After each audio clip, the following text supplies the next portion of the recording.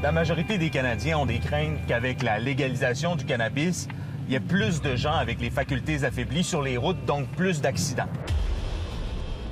On a vérifié.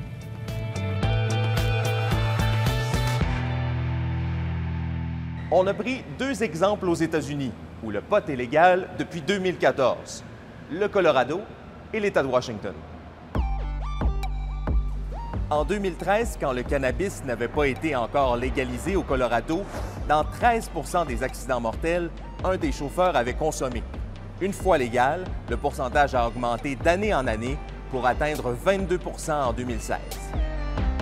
D'ailleurs, l'année dernière, parmi tous les accidents, il y en a eu trois où les chauffeurs des deux véhicules impliqués avaient tous les deux consommé du cannabis.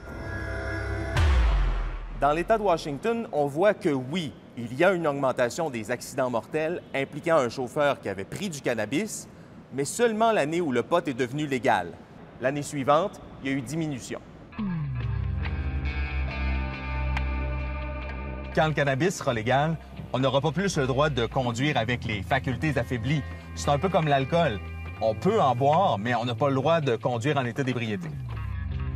Le Canada a l'intention de mettre la limite à 2 nanogrammes de THC par millilitre de sang. C'est plus sévère qu'au Colorado et que dans l'État de Washington, où la limite est à 5 nanogrammes. 5 nanogrammes, ça c'est un taux qu'on atteint en fumant une bouffée d'un joint. Et ça prend 4 heures avant de pouvoir conduire.